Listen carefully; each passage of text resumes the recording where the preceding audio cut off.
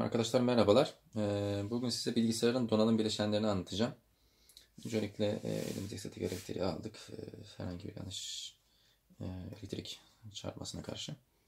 Bilgisayarımızın elektriğini kesiyoruz. E, Buradan şu an kapalı zaten. Arkadaki kısmı sıfırda. Elektrik çarpması olmaması için.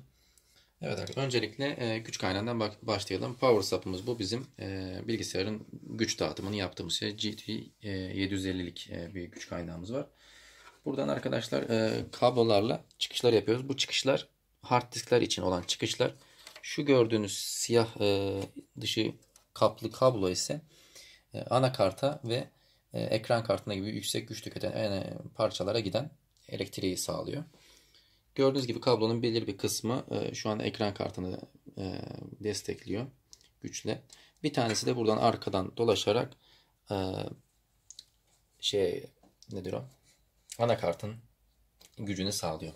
Bir tane de diğeri arkadan e, e, gelen ise bu da işlemcinin gücünü sağlayan enerji kablosu.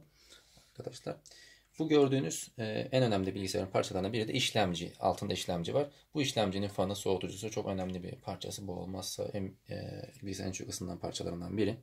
Daha sonra ikinci önemli parçası diyebileceğimiz ekran kartı. Tabi anakart e, temel parçası. Bunun üzerine kuruluyor bilgisayar. Anakarttan biraz bahsetmek gerekirse bu işlemcinin oturduğu yuvalar. E, buradaki yuvalar ise RAM'lerin oturduğu yuvalar. 3 tane yuva, 4 tane yuvam var RAM için benim. Bunları e, eş olarak yükseltebiliyorum bu şekilde. Burada gördüğünüz e, slotun arkasında ise e, USB girişleri, ses kartı girişleri, çıkışlarımız var. Yani anakarttan sağladığımız çıkışlar var arkadaşlar.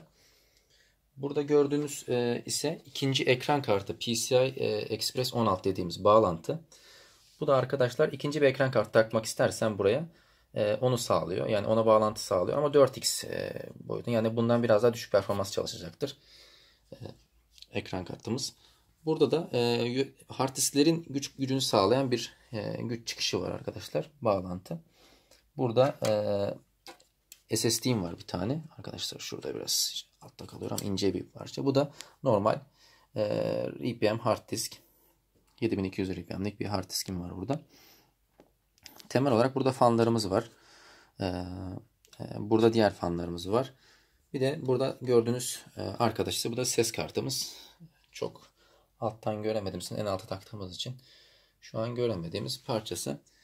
E, başka bahsedeceğimiz bir ünitesi şu an için aklıma gelmiyor. Temel olarak bilmeniz gerekenler bunlar. E, RAM'lerin yuvalarında bazen oynamalar oluyor. Bunları kontrol etmeniz gerekirse diye böyle şey yapabilirsiniz.